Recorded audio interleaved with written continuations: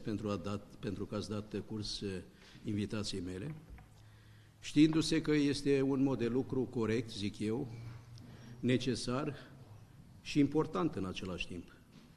Corect pentru că întotdeauna atunci când am avut de comunicat pentru țară și a trebuit să o fac, am făcut-o la timp, indiferent de, de efort, indiferent de, de moment, indiferent de zi, întrucât opinia publică așteaptă. Așteaptă răspunsuri de la noi, așteaptă clarificări din partea noastră și așteaptă fermierii rezultatul muncii noastre. Al doilea rând, aș vrea să vă spun că este un maraton al întâlnirilor.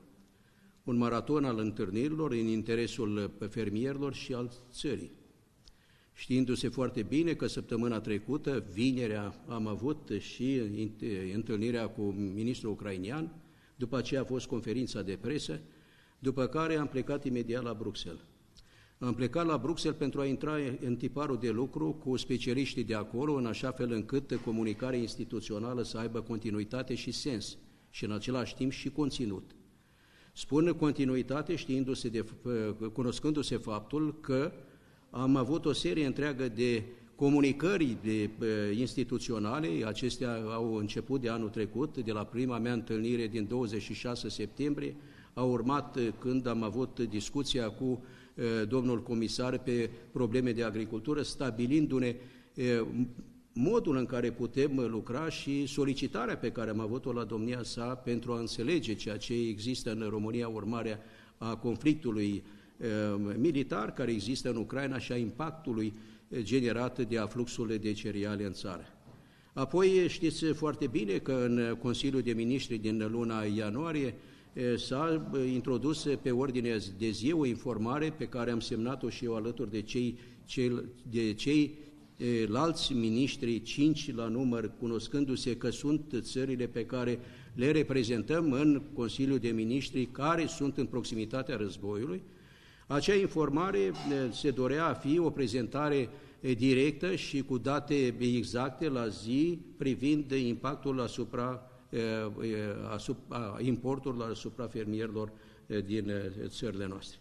Apoi știți foarte bine, pe data de 14 a fost Consiliul de Ministri când s-a pus în mișcare acel mecanism de sprijin, cunoscându-se suma de 56,3 milioane euro care a fost pusă la dispoziția celor trei țări, cum este cunoscut, s-a mediatizat foarte mult, s-a interpretat de asemenea în diferite feluri, dar Ă, rezultatul nu ne-a mulțumit și dovadă că a doua zi în Consiliul ă, European, domnul, cu ocazia desfășurării lucrărilor la Consiliul European, domnul președinte a intervenit și a spus foarte clar că România merită mai mult, că suma pe care, care a fost repartizată nu onorează efortul pe care l-a făcut țara și nu asigură cu mijloace financiare pe fermieri în așa fel încât să treacă de momentele acestea dificile. De atunci a urmat uh, scrisoarea din 31 martie pe care a înaintat-o cei patru uh, prim-ministri și președintele Bulgariei în ordine premierul României, al Poloniei, al Ungariei și al Slovaciei și scrisoarea respectivă semnată și de președintele Bulgariei, adresată președintei Comisiei uh, Europene pentru a interveni și a da sprijin concret țărilor noastre în așa fel încât să putem face față situației generate de conflict. Răspunsul a venit pe data de 19 aprilie, răspuns care a dat primul semnal de ajutor concret pentru țările noastre, motiv pentru care ministrii de, aia, de agriculturii și, ai, și ministrii comerțului din țările, din cele cinci țări, au avut de-a lungul vremii o serie întreagă de întrevederi prin videoconferință cu comisarii europeni, în speță cu vicepreședintele Comisiei Dobrovskis, care este responsabil cu politicile comerciale, știindu-se că politica comercială este apanajul Comisiei Europene și activitatea, decizia acolo se ia și acolo trebuie să se proceseze toate informațiile privind piața unică, iar deciziile se, se, iau, se, se procesează acolo.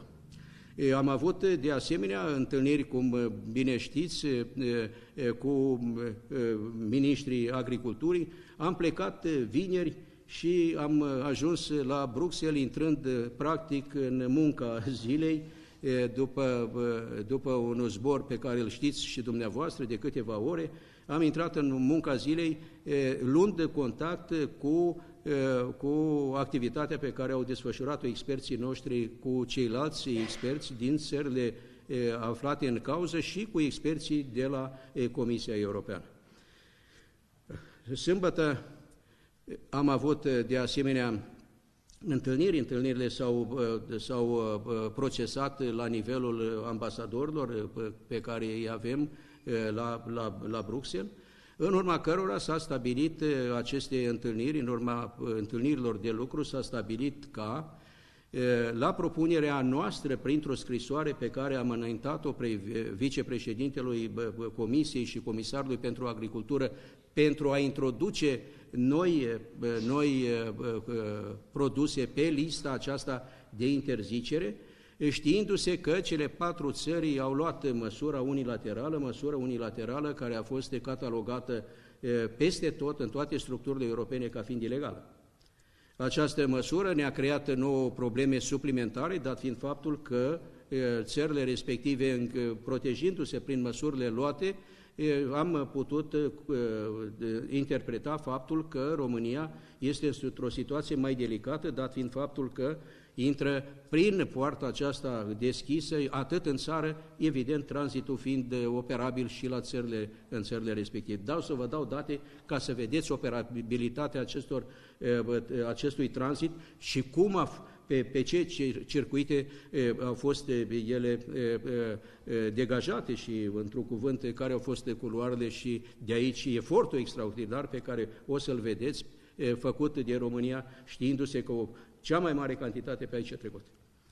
Iată că în, în, în sertarele acestea de, de activitate, de acțiune zilnică, am putut ajunge cu un supliment de, de solicitări de, puse de acord cu miniștrii din țările, din cele cinci țări și noi am prezentat în timp util, lucrând sâmbătă și duminică cu oamenii din țară și cu, cu reprezentanții patronatelor, a structurilor asociative din România pentru a suplimenta această listă pentru făină, pentru ouă și carne și, evident, pentru miere, cunoscându-se faptul că România are o asemenea situație ca ce poate fi procesată printr-o decizie europeană în așa fel încât să putem lărgi lista cu produsele care se supun salvgardării, procedurii de salvgardare excepțională pentru a fi interzise la import din Ucraina. Iată că din, din aceste discuții și din aceste întâlniri de lucru a rezultat și o decizie. A rezultat decizia conform căreia Uniunea Europeană ne-a pus la dispoziție țărilor care au fost afectate și în speță cele cinci țări suma de 100 de milioane euro, sumă care se va, se va acorda prin decizia Comisiei și o vom avea -o în, în dispozitivul legal în câteva zile, sperăm noi, și o să vă spun de ce și cum, pentru ca să putem să dăm drumul la aceste sume către fermierii noștri care au avut de suferit din acest punct de vedere.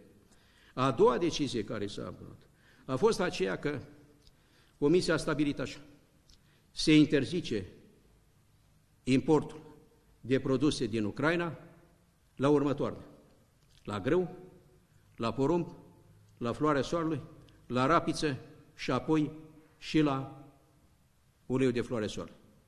Aceasta a fost concluzia la care a ajuns Comisia, analizând propunerile noastre, solicitările noastre și interpretând din punct de vedere juridic deciziile care le pot lua în condițiile în care le permite regulamentul păi, european 870 care a instituit aceste norme de, de liberalizare norme care își au uh, originea în acordul de asociere uh, semnat de către Uniunea Europeană și parafat de către toate țările membre, uh, acord de asociere între Uniunea Europeană și țările și Ucraina. De aici a început discuțiile și solicitările care au fost diferite și pe bună dreptate, întrucât fiecare țară își are, își are specificul ei și impactul asupra produselor pe care le, le, le are de, în, și le realizează și care sunt impactate de aceste, de aceste importuri.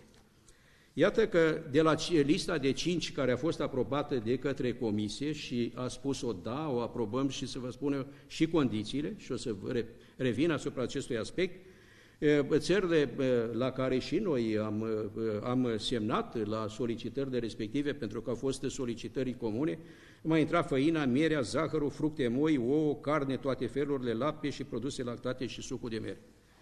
Comisia în uh, ziua de, de, de, de, uh, de, de luni am avut uh, o videoconferință cu cei cinci miniștri la reprezentanța României, punându-ne de acord și stabilindu-ne modul în care vom dialoga cu, cu reprezentanții Comisiei, în speță cu vicepreședintele Comisiei și cu comisarul pe agricultură din, de la Comisie.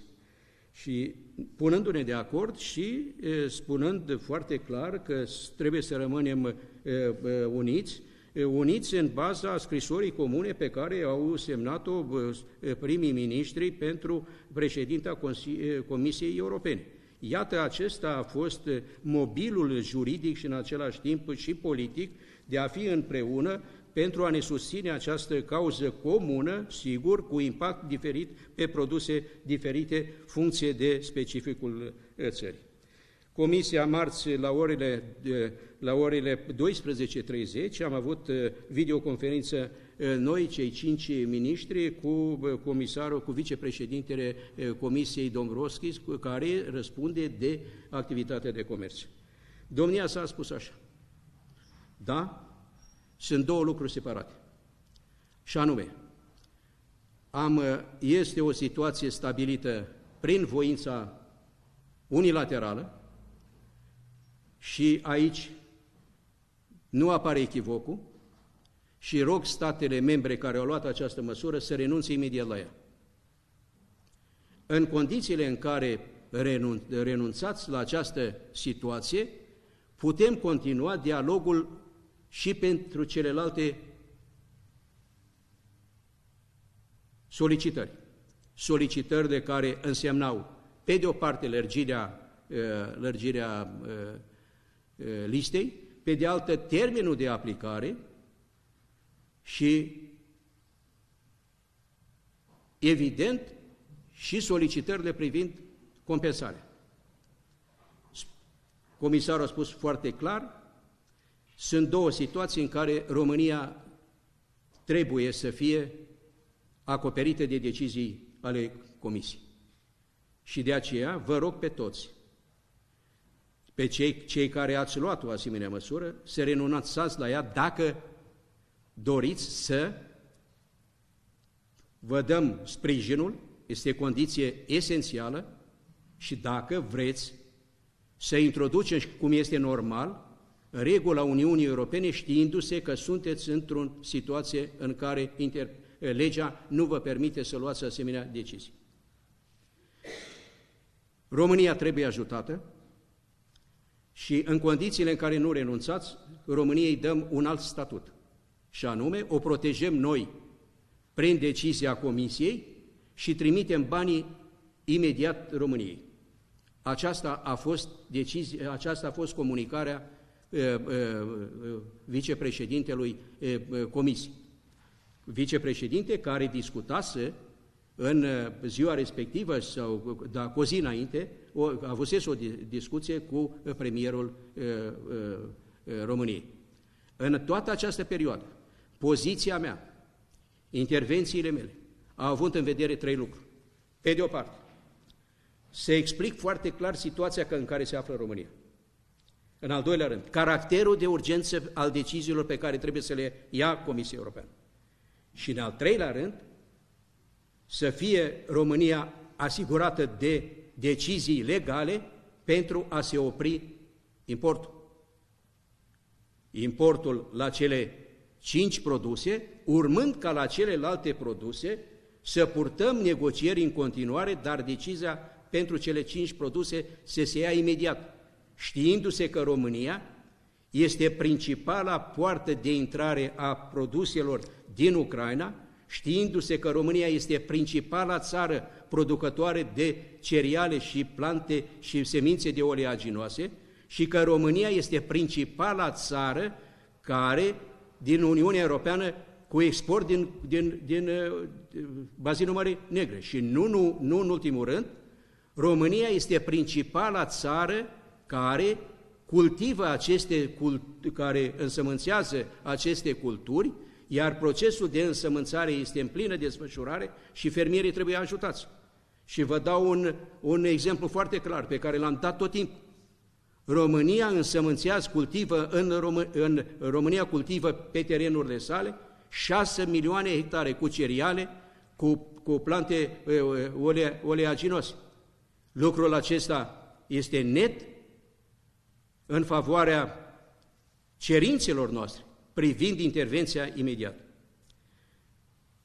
Sigur că a fost și după aceea o întâlnire cu domnul comisar de la agricultură, care ne-a prezentat pachetul de sprijin, spunându-se, spunându-se, spunându-ni se că se îndau acești bani, dar condiția este să renunți.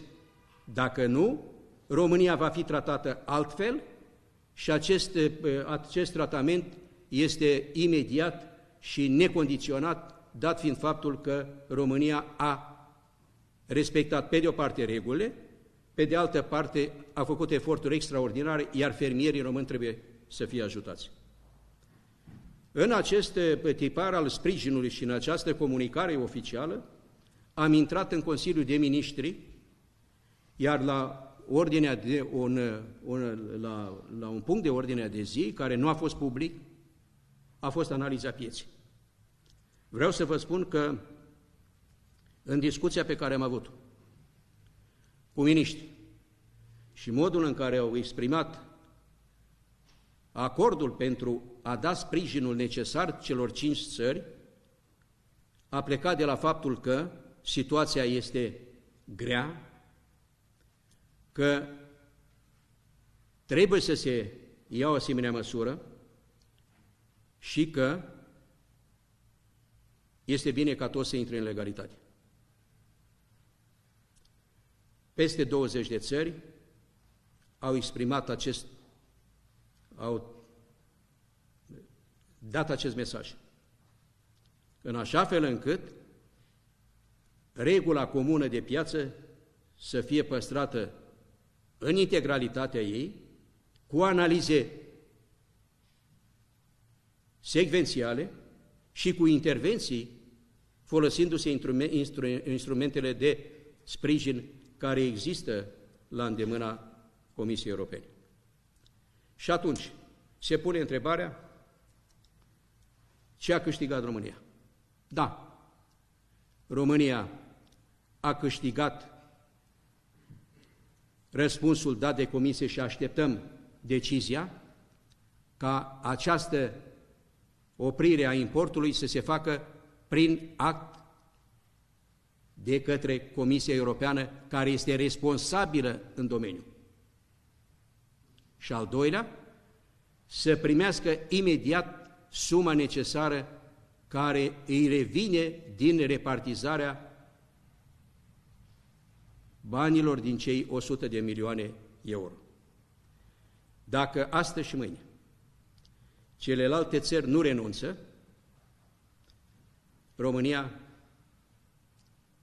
este protejată de decizia Comisiei prin care se, se, se instituie interzicerea importului pe teritoriul României până pe data de 5 iunie.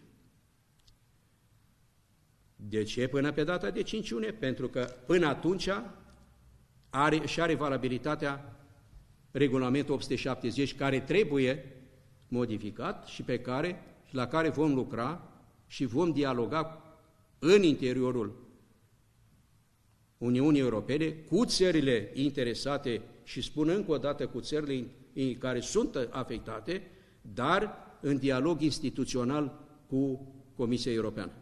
În așa fel încât să putem proiecta și un drum mai lung de acțiune comună și, și instituirea unor reguli comune pentru protejarea pieții de importurile din Ucraina. Dacă această decizie, spuneam, nu se va uh, uh, în uh, celelalte state și noi, sigur că și acum se lucrează, am, am sus, în, suntem în, în dialog cu experții noștri de acolo, să vedem poziția. Această poziție va fi cunoscută în momentul în care se ajunge și la vot. Pentru că trebuie să știm foarte clar, orice sprijin și rezerva de criză se acordă cu majoritatea calificată. Iertați-mă, să termin și apoi dumneavoastră stă, vă stau la dispoziție. Majoritatea calificată înseamnă minim 15 state și cel puțin 65% din numărul de voturi, știindu-se că acest 65% e legat de populație. Iar dacă această decizie pe care noi o considerăm pe drumul bun, întrucât prin dialogul care l-am avut ieri, prin discuția pe care am, în care am purtat-o ieri, în cadrul Consiliului de Miniștri, statele, majoritatea statelor au fost de acord cu acordarea acestei sume, apoi urmează ca în câteva zile, prin grupul de lucru, să se valideze și apoi să intrăm pe drumul juridic necesar pentru a putea primi sumele respective. Dacă țările celelalte nu renunță, România va primi, pe de o parte, și suma și va primi și decizia luată de comisie pentru interzicerea importurilor în România din Ucraina. Eu am discutat foarte clar cu ministrul ucrainean. Spre mulțumirea mea și spre mulțumirea spun că ce am discutat s-a și întâmplat.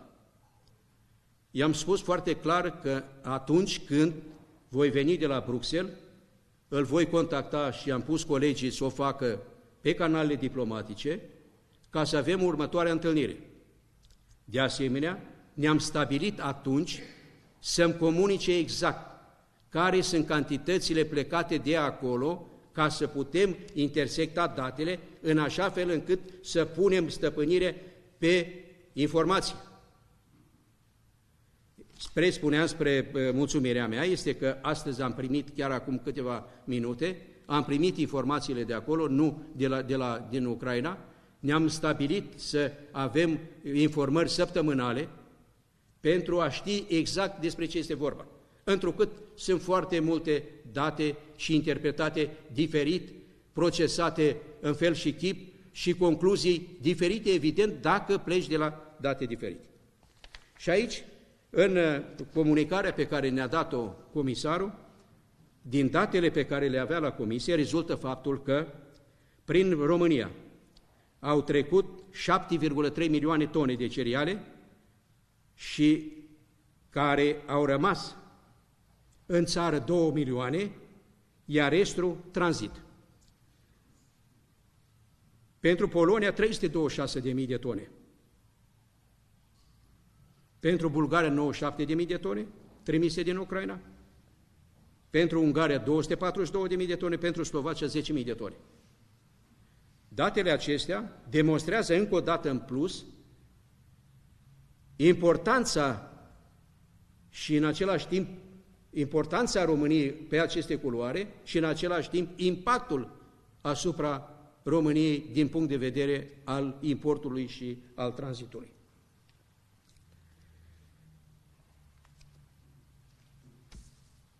Vreau să vă dau document, să vă arăt documentul și eu să vi-l pun la dispoziție.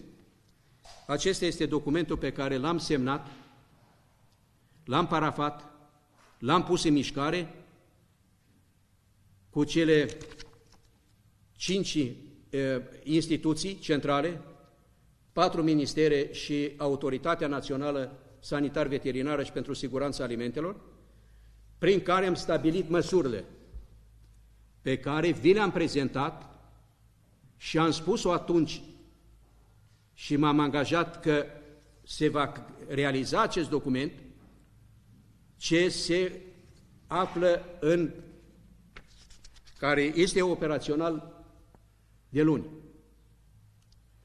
Și anume, sigilarea mijloacelor de transport auto și CFR și barjile acolo unde se poate, urmărirea până la destinație, intrarea în sistem de comunicare rapid pentru a se ști unde se duce cantitatea respectivă. După cum bine știți, și am, am datele necesare la ora actuală, noi am început actul normativ, am pus în mișcare actul normativ prin care ducem banii la fermieri care au avut la 1 februarie stocul de grâu în magazii și care nu a fost valorificat. Cu alte cuvinte, dând banii la fermierii a căror cultură nu și-a văzut finalitatea. În speță nu a fost valorificat. Și acest act normativ îl urmărim zilnic. Cum se implementează în România? Printr-o operativă în așa fel încât să putem cunoaște, pe de o parte, că toată lumea știe de actul respectiv și să și cunoaștem că instituțiile statului, în speță APIA și direcțiile agricole, se ocupă efectiv, pe de o parte, de a anunța fermierii pentru a se încadra în timp, pe de altă parte pentru a procesa informațiile necesare care se înscriu. Până la această dată. Și-au depus cereri 252 de fermieri pentru o cantitate totală de 166.857 de tone. Actul normativ are perioada de depunere, în actul normativ se precizează ca perioada de depunere până la data de 11 mai. În fiecare zi urmărim pentru a nu pierde niciun moment, nici o clipă în desfășurarea procesului de acordare a banilor pentru fermieri. În momentul în care vin și sumele suplimentare, această sumă să nu-mi puneți întrebarea, pentru că Petre Daia o dă atunci când vede actul normativ și vede decizia comisiei cu suma respectivă. Ce v-am spus și este cunoscut și sunt documente în acest sens, este că această sumă este de 100 de milioane pentru toate țările.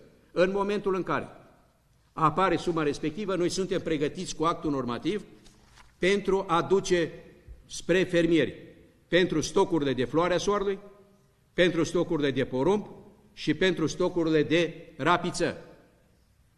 Și actul normativ este pregătit în așa fel încât să poată fi pus în mișcare în momentul în care apare comunicarea. Așa cum am făcut-o și cu precedentul act prin care am putut introduce în mod juridic necesar informațiile cuvenite pentru care au fost primite de către de noi prin jurnalul oficial, știindu-se că acolo se comunică și se e, e, e, comunică actele normative de la Uniunea Europeană și îți dau posibilitatea să dai drumul juridic, din punct de vedere juridic, la actul național.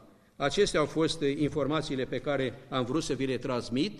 Eu mă duc în continuare, sigur o să rămân în dispozitivul acesta de lucru, în momentul în care apare decizia Comisiei europene, sigur că o voi face public, dar am socotit necesar să mă întâlnesc cu dumneavoastră știindu-se pe de o parte cât de de, de, de, a, de așteptată este, este această decizie a Uniunii Europene, pe de altă parte solicitările pe care dumneavoastră mi le-ați făcut telefonic și la care n-am putut să răspund, spunându-vă foarte clar, vin în țară, fac o conferință de presă, iată am făcut-o, acum aștept întrebările noastre, vă ascult, vă rog.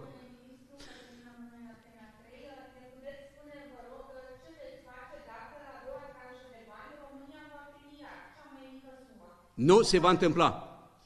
Asta sunt sigur.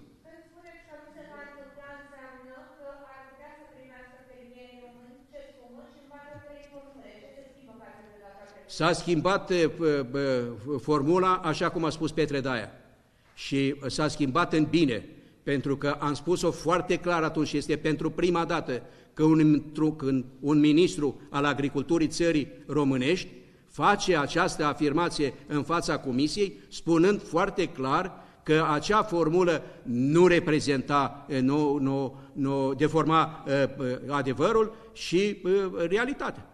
Și de aceea, iertați-mă, și ați văzut și intervenția domnului președinte, care a doua zi a spus-o cu ocazia desfășurării lucrărilor la Consiliul European, același lucru, că nu prin, prin acte contabile, prin calcule contabile, putem să evaluăm situația complexă, complicată și extrem de dificilă în care ne aflăm, iar efortul țării trebuie să fie, să fie onorat prin sume pe care le merită România și pe care le merită fermierii. Noi suntem în acest dispozitiv, vom fi în continuare în acest dispozitiv de a sprijini fermierii români și a face ce trebuie pentru țară, dar în cu reguli, cu norme juridice pe care nu trebuie să le încălcăm pentru că introducem în alt plan juridic atunci interpretativ și poate cu urmări mai dureroase decât acestea. Vă rog. Nu, nu dau niciun răspuns pe această sumă. V-am spus-o foarte clar de la bun început, aștept, aștept suma și e, sunt convins că acum la Comisia Europeană lucrurile sunt în regulă și din acest punct de vedere e, vă, e, sunt parțial liniștit pentru că aștept cât mai repede decizia în așa fel încât să fim lângă fermieri. Iată ce e afară. Este timp de semănat, este timp de irigat, este timp de lucrat în câmp. Lucrurile acestea le-au înțeles foarte bine, iar pe acest culoar al interesului național și al interesului fermierilor români, Petre Daia a fost tot timpul prezent atât în dialogul instituțional, cât și acela formal, în condițiile în care am semnat documente și am făcut propuneri care să fie luate în seamă de către instituțiile eh, Uniunii Europene. Vă rog.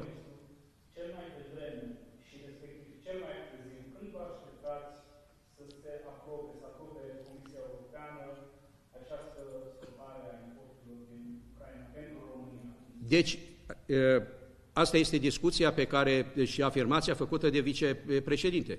În 48 de ore se instituie această măsură, în condițiile în care celelalte state ridică, ridică uh, uh, interzicerea. Dacă nu, uh, României se, îi se creează acest culoar decizional necesar în așa fel încât să fie în regulă. Deci mă aștept până la sfârșitul săptămânii lucrurile să fie în regulă. De, știindu-se că sunt proceduri la care DAIA nu participă. Sunt proceduri, iertați-mă, sunt proceduri juridice pe care trebuie să le proceseze Comisia Europeană. Rugăm, intervenția mea a fost așa că nu trebuie zile, ci ore.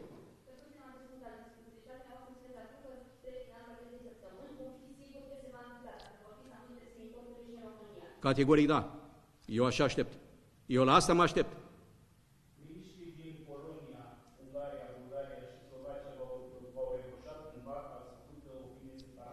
Nu, nu, Petre Daia nu face niciodată opinie separată față de țara lui. Nu, nu, nu, nu, să fie foarte clar. Eu, prez, eu reprezint România așa cum este ea. Și am spus-o de fiecare dată și o repet, indiferent în ce structură mă aflu, în ce dialog mă aflu, România nu poate fi comparată cu orice țară în condițiile în care are un specific anume și v-am spus-o foarte clar. România este principala țară cultivatoare de porumb și floarea soarelui din Uniunea Europeană. Am spus în intervenția mea că și Uniunea Europeană și România este responsabilă pentru a cultiva întreaga suprafață de, cu aceste culturi, în așa fel încât să asigurăm bă, produsul în, în, piața, în piața europeană. Aici nu ne jucăm. Dacă România, deci România însămânțează 6 milioane, spuneam, de porumb, de cereale și, floarea, și, și plante oleaginoase și Polonia 3,7, 2,8 Bulgaria. Lucrurile sunt diferite. Ei cu problemele lor și le respect și trebuie să le respectăm. De aceea suntem în comun, și de aceea am avut această acțiune comună, atât la nivelul primilor miniștri și al președintelui Bulgariei, cât și la nivelul miniștrilor. Am avut această abordare comună pentru că ne-a afectat în comun, dar diferit de la o țară la altă, știindu-se cantități. Noi vorbim de milioane de tone, iar dincolo vorbești de, de sute de mii de tone, dar au și ei afectate alte culturi, cum cere, spre exemplu, Polonia și legitimă solicitarea lor pentru sucul de mere sau pentru fructe moi, pentru noi nu există o asemenea... O... Nu, nu am spus-o eu că sunt ilegal, a spus-o Comisia. Comisia a spus acest lucru, Petre Daia doar vă transmite ceea ce a spus vicepreședintele Comisiei Europene, care este responsabilul domeniului și care îl gestionează de prin răspunderea pe care o are și prin portofoliul decizional pe care îl deține. Nu Petre Daia a spus acest lucru, v-am transmis ce au spus comisarii și din acest punct de vedere, vă rog.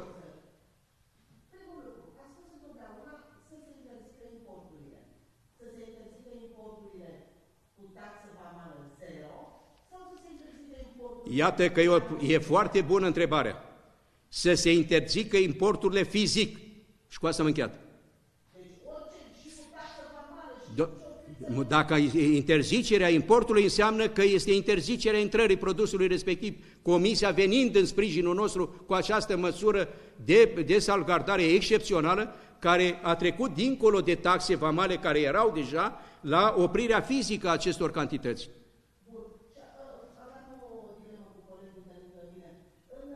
Le purtați în continuare de dilema, o, o purtați? Sigur, altă dată, poate acum este...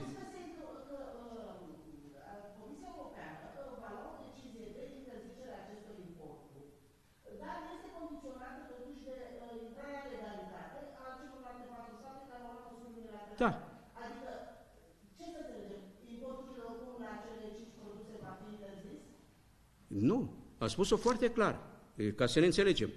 Le ridicați, vă acoperim noi juridic de decizia noastră până în 5, până în 5 iunie. Dacă le ridicați, vă dăm și banii. Dacă nu le ridicați, e, și nu numai de bani, și... Nu, nu, nu, nu, nu. haideți că dumneavoastră sunteți foarte pregătită din acest punct de vedere și să, vrea, să vă dau explicațiile cuvenite. Nu-i vorba numai de bani, e vorba și de, de statutul juridic pe care îl pot avea în condițiile în care se încalcă un tratat de asociere, întrucât el are și, poate și aibă și urmări. Nu-i treaba mea, nu-i treaba Ministrului Agriculturii. Ministrul Agriculturii are, treburi, are porțiunea lui de răspundere, motiv pentru care mă și circumscriu în răspunsuri în zona aceasta de activitate pe care eu o desfășor și de răspundere pe care o am. Vă rog.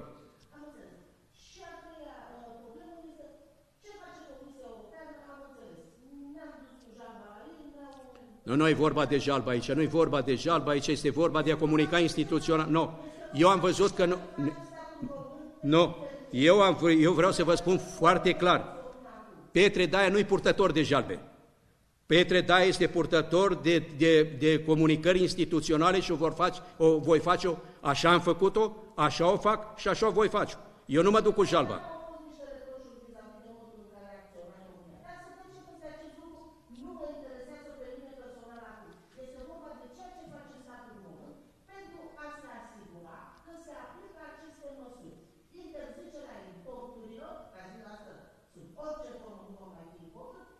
Până în data se ridică această...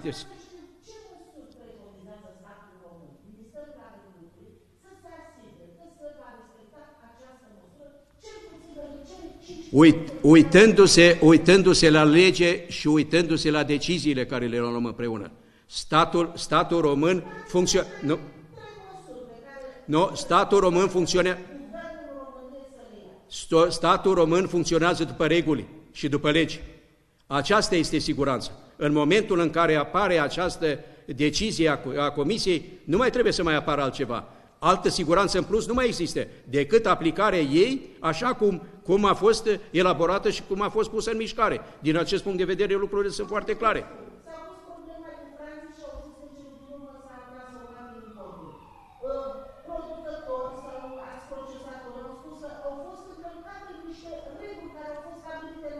Stat, statul, rom, statul, român, statul român are acest, statul român uh, are în dispozitivul lui de funcționare instituții.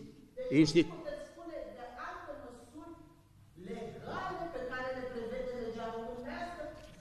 Iată, iată de... Trebuie... Noi... Da. Da. Deci,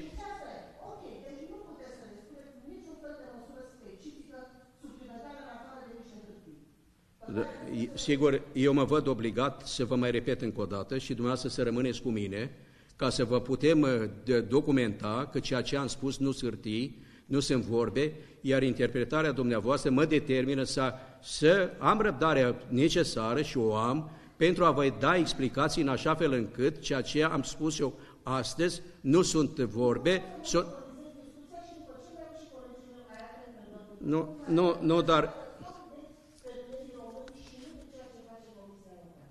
Deci să fie foarte clar. Nu o să credeți altul mai apropiat decât fermierii, de fermierii români ca Petre Daia.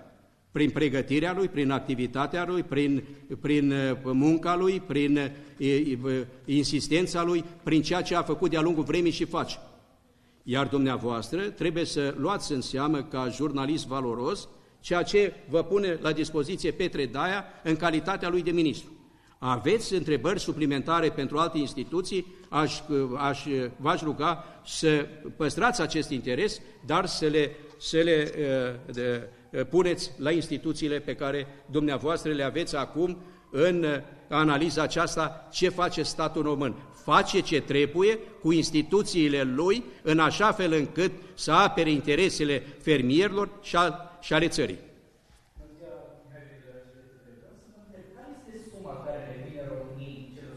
Nu, am spus că Petre Daia o spune atunci când va avea această sumă comunicată printr-un act care să-mi dea posibilitatea să o pun și în mișcare în momentul în care vine, pentru că sunt pregătit cu actul normativ. Nu am, această, nu am acest document?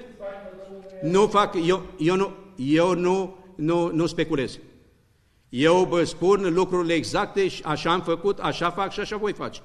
V-am informat și am informat fermierii mei, nu trebuie să-i por cu vorba. Eu nu sunt purtător de vorbe sau sunt la bursa, la zvonurilor. Eu sunt purtător de fapte cu documente, cu decizii pe care trebuie să le iau și pe care le anunț la timpul potrivit, în așa fel încât să se cunoască exact despre ce este vorba. Vă mulțumesc. Vă rog.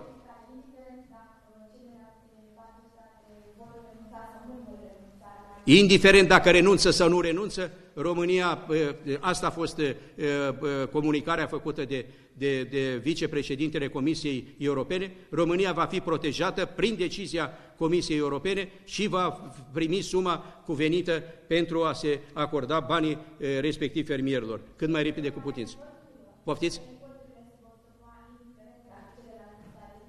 Același lucru, păi asta e. Se vor, se vor stopa importurile la cele cinci produse. Și le repet, dacă cam această se va opri importul la grâu, la porumb, la rapiță, floarea soarelui și ulei de floarea soarelui.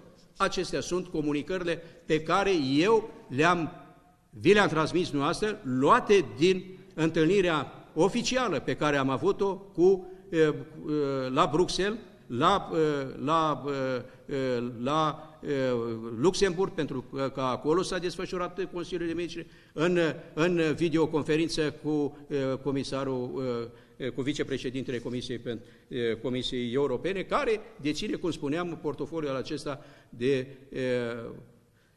comisar pentru comerț. Vă rog.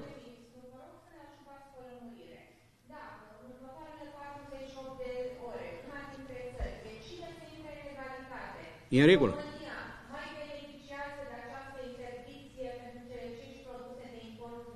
Evident că da. Deci, deci toate țările care vor intra în, în acest dispozitiv, impus de regulile europene, de legi, care trebuie respectate. Fraților, trebuie respectate legea. În, în România și peste tot, în condițiile în care legea ne pune pe noi la o... La... Deci, în... Mă ascultați încă o dată. A spus-o foarte clar. Astăzi și mâine se lucrează la nivelul Comisiei Europene cu experții țărilor respective. În momentul în care se ajunge la concluzia că Ungaria, spre exemplu, Polonia și toate celelalte țări renunță, din momentul renunțării, în 48 de ore din momentul renunțării, se, se instituie această, această normă europeană de a interzice importul la cele cinci produse. Dacă nu, ascultați-mă mai departe, că vă dau acum. Dacă nu, se, nu doresc celelalte state, România va intra după terminarea acestor negocieri, acestor interpretări, România va fi țara protejată imediat de decizia Comisiei Europene. Asta este. Vă mulțumesc frumos.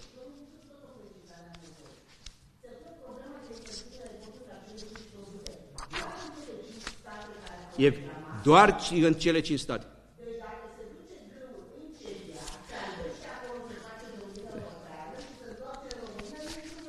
Sunt, deci, sigur că uh, uh, uh, imaginația omului este diferită și sunt cu limite și fără limite.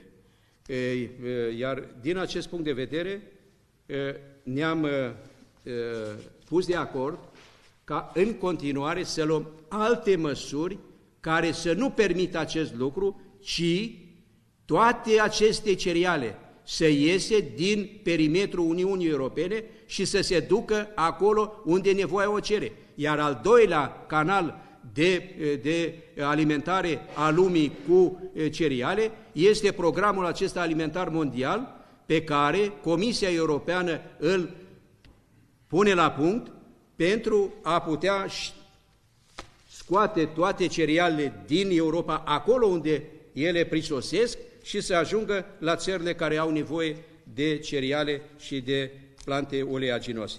Vă doresc o zi bună, sănătate și...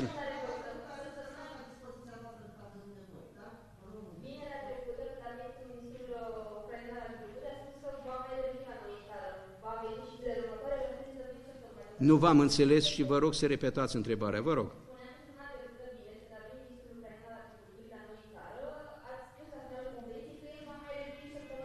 Categoric da. Și v-am spus acest...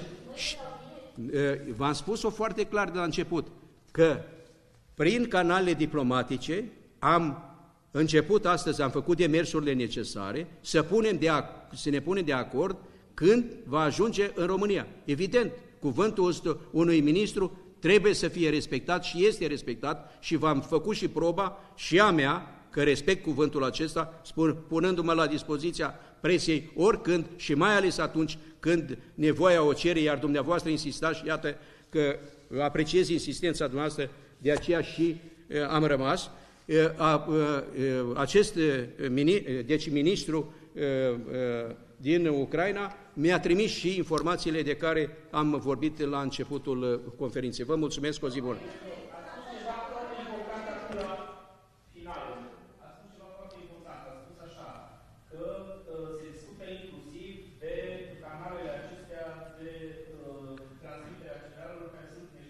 Categoric da.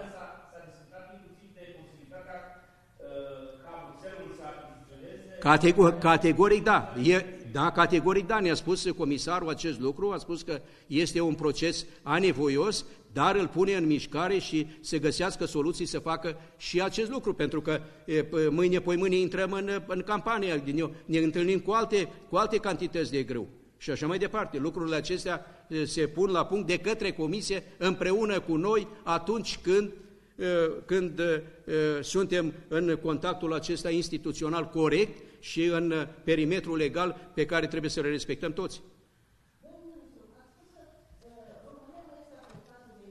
Deci,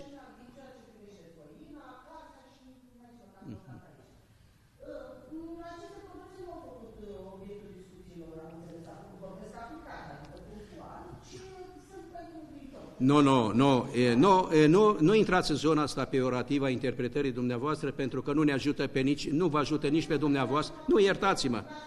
Nu, iertați-mă, iertați-mă, ier, nu, iertați-mă cu pusul întrebărilor pentru că iată că voi putea răspunde la toate întrebările dumneavoastră și vă stau aici numai pentru dumneavoastră la dispoziție să clarific cu mare, cu mare drag și știți că respect acest dialog. Lucrurile sunt foarte clare. Salvgardarea excepțională se face atunci și numai atunci când îți permite actul normativ și, și stare de fapt. Au fost introduse și aceste produse, produse care se află într-o situație nu atât de acută ca celelalte cinci de care am vorbit. Și a spus așa, comisă, da, rămânem, analizăm și aceste produse și introducem măsuri de, de anchetă care sunt pe procedurile 870 și aici ai mult de spus și vă stau la dispoziție să vă spun și despre 870 și foarte bine că așa ne putem informa.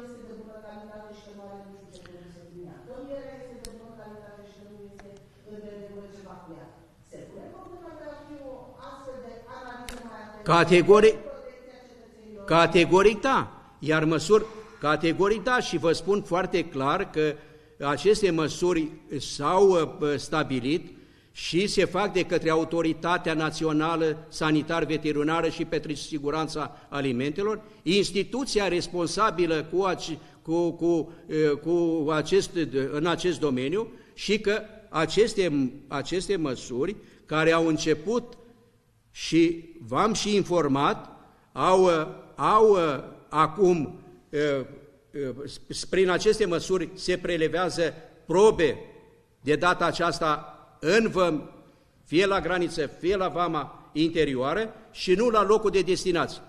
Aceste măsuri vor crește în condițiile în care va exista o vreo suspiciune anume evident prin procedurile pe care le, au, le are această autoritate impuse de regulile europene, va crește exigența în domeniu, zi de zi se fac aceste analize.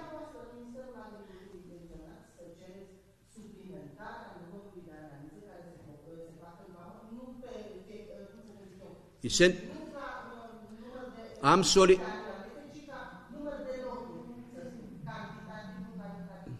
Deci, acest, aceast, acest mod de prelevare, de prelevare a probelor este stabilit împreună, de, este stabilit de autoritatea sanitar-veterinară pe regulile europene, care spune așa, dacă se găsește un, o suspiciune, crește numărul de, de, de controle, de la o zi la alta, de la o etapă la alta. Iată interesul statal al instituțiilor statului pe care, pe care v-aș ruga să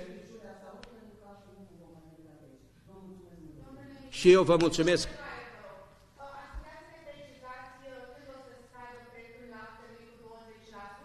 Sigur, aștept, aștept din partea Consiliului Concurenței, care a primit sarcina de la primul ministru, să vină cu acest răspuns foarte clar. Îl aștept și eu, pentru că Ministrul Agriculturii are o responsabilitate în domeniu și este conștient de responsabilitate, are și activitate consistentă din acest punct de vedere, dar are, da, țara românească are și instituții altele care sunt răspunzătoare de formarea prețului și de, de concurența pe piață care trebuie gestionată de instituțiile abilitate ale statului român. Vă mulțumesc, o zi bună!